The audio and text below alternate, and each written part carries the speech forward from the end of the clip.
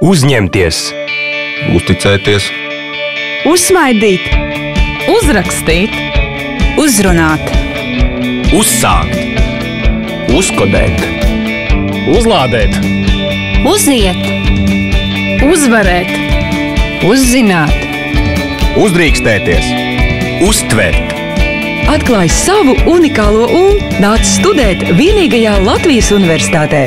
Uzzini vairāk, gribu studēt LV.